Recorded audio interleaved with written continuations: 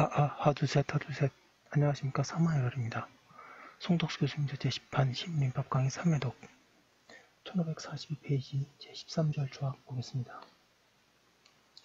사마이얼 TV 절차 구독 추천을 부탁드리고 유튜브 구독을 권합니다. 제13절 조합 로마 절반의 서설 조합의 및 사회적 작용 양가들과의 조합의 의의 조합은 2인 이상의 특정인이 서로 출자하여 공동사업을 경영할 목적으로 결합한 단체이다. 방가를 번에 사람의 결합체인 단체에는 사단과 조합의 두 가지가 있다. 그 중에 사단의 경우는 그 구성원이 단체에 매몰되어 그 개성이 표면에 나타나지 않는데 비하여 조합의 경우에는 그 구성원의 개성이 강하게 나타난다. 구체적으로 사단과 조합은 통일적 조직과 기관의 유무, 단체의 행위자, 법률 효과의 구속자, 의사결정 방법, 재산의 소유 형태, 법인격 용어 등에서 차이를 보인다. 판례는 민법상의 조합과 법인격은 없지만 사단성이 인정되는 비법인 사단의 구현함에 있어서 일반적으로 그 단체성의 강약을 기준으로 판단할 것이라고 한다. 이때 조합이라는 명칭을 사용하는 것은 중요하지 않다. 비법인 사단에는 사단법인에 관한 규정이 규정된다.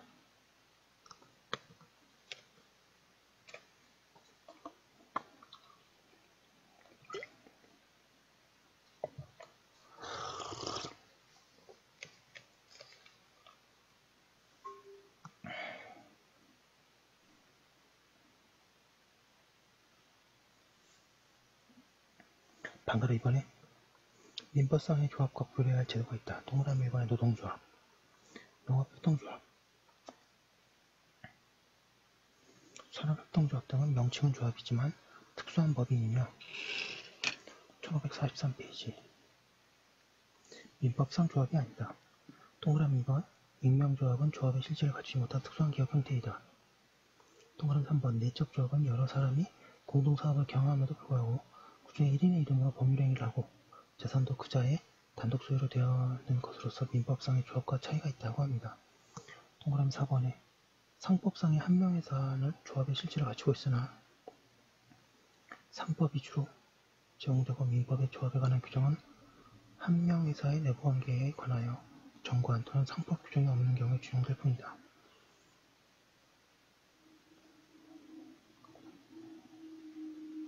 방금 3번에 민법상 조합의 대표적인 경우는 몇 사람이 출자하여 공동으로 영업 또는 기업을 경영하기로 하는 동업관계이다. 그리고 사단법인 또는 사단의 사단인 회사의 설립을 목적으로 하는 설립자 또는 발기인 조합도 민법상의 조합이다.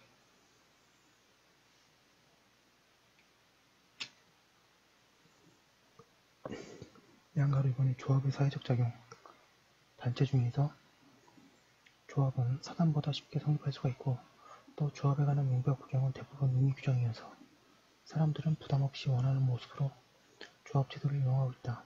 그 점에서 조합은 어느 정도 사회적 작용을 하고 있다고 말할 수 있다.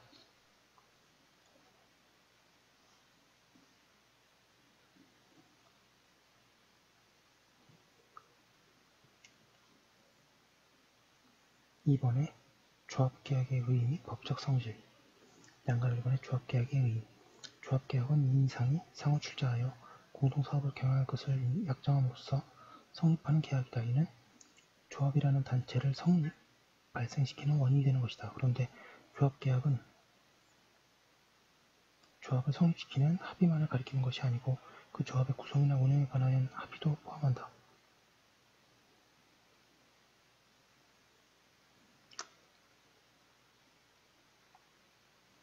양가위반의 조합계약의 법적 성질 방가위반의 조합의 청소를 목적으로 하는 합의가 계약인지에 관해서 학설은 계약설과 2번의 합동행위로서의 성질은 계약으로서의 성질을 모두 가지는 특수한 법률이라는 견해로 나누어 있다. 법률행위의 종류로서 합동행위를 인정하지 않으면서 이사를 취할 수 없음은 물론이다. 조합계약은 계약이다. 이렇게 알아두시면 됩니다. 사견으로 조합계약에 있어서는 당사자들의 의사표시 방향이 공동사업의 경영이라는 점에서 일치하며 따라서 합동행위로서의 성질을 가지고 있다. 그런가 하면 단일한 단체로 성립하지 못하고 계약관계로서 존속한다. 여기서 조합계약은 합동행위 및 계약의 성질을 같이 가지고 있는 특수한 법률행위라고 할 수 있다. 방가를 번에 조합계약이 쌍무계약인가에 관해서 학설은 본래 쌍무계약이 아니라는 견해와 쌍무계약이라는 견해는 아니다.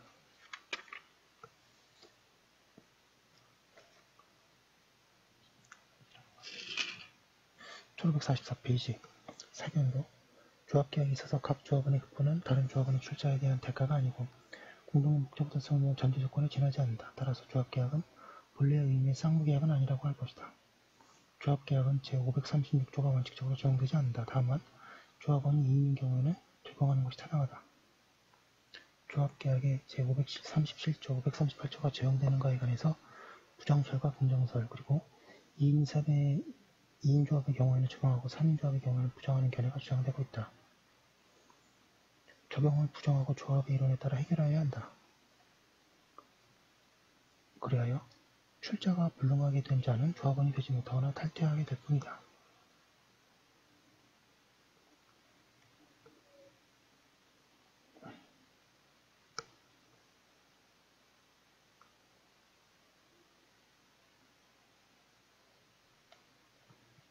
그리고 불능으로 된 급부가 조합의 목적 달성이 중요한 것일 때에는 조합은 해산할 수밖에 없다.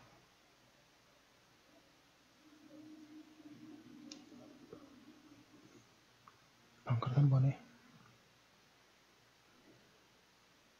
조합계약에 대해서 계약의 해제, 해지에 관한 규정이 적용되지 않으며 제명, 탈퇴, 해산 등으로 처리하는 것이 적당하다. 통솔 판례도 같은 입장이다. 판례 보겠습니다. 동업계약 같은 조합계약에 있어서는 조합의 해산 청구를 하거나 조합으로부터 탈퇴를 하거나 또는 다른 조합원을 제명할 수 있을 뿐이지 일반 계약에 있어서처럼 조합 계약을 해지하고 상대방에게 그로 인한 원상회복의 의무를 부담지을 수는 없는 것이다. 방금 서번에 조합 계약이 유상계약인가는 조합 계약의 매매에 관한 규정이 적용되는가에 문제로 논의되고 있다. 흑설은 인정설과 부정설로 나뉘어 있다. 일설은 그 이후로 조합에 관한 규정을 현물 출자 시 담보 규정에 관한 담보 책임에 관한 규정이 없음을 들고 이설은 유상계약의 본질인 당사자의 대가적 출연은 각 당사자의 공동의 목적을 위하여 출연하는 것을 포함시키지 포함하지 않는 것을 든다. 이설의 주장도 일리는 있으나 주용이 필요한 경우가 전혀 없다고 하기 어려우므로 일설을 따라야 할 것이다.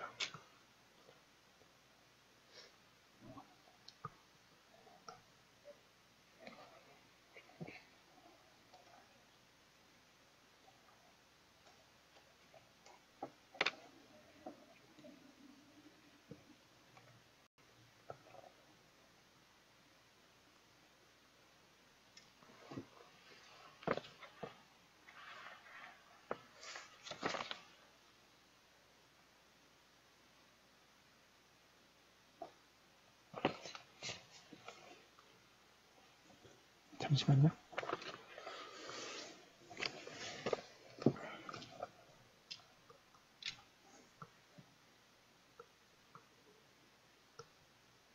방가로번의 조합계약이 낙성 불효식의 계약이라는 데에 대해는 다툼이 없다. 로마자 1번의 조합의 성립, 방가로 1번의 조합의 성립 요건, 조합은 이 이상이 서로 출자하여 공동사업을 경영할 것을 약정으로서 성립한다.